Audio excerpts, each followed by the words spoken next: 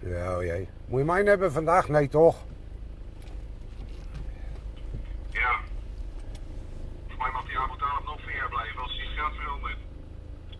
Ik ga wel even kijken op het hoekje dat ze daar naartoe komen. Ja, ja, kom goed. Mond, mondkapje op, kom alles goed. Kees is inmiddels gearriveerd in de wijk 110 Morgen. De straten daar zijn vernoemd naar Griekse en Romeinse goden en helden.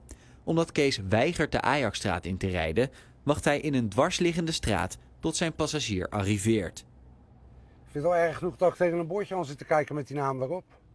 Daar krijg je gewoon kriebels van, hè? Maar als het goed is, komt ze zo naar beneden.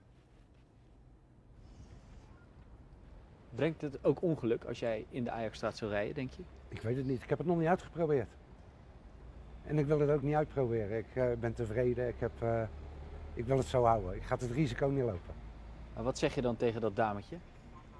Oh, die heeft er geen moeite mee hoor.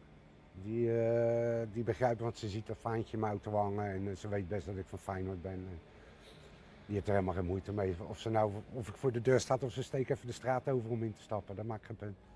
Het is geen serviceverlager. Nee hoor, beslist niet, want ik doe netjes de deur voor de open. En dan ga je achteruit de straat uit. Ja, ja, ik ga er niet doorheen.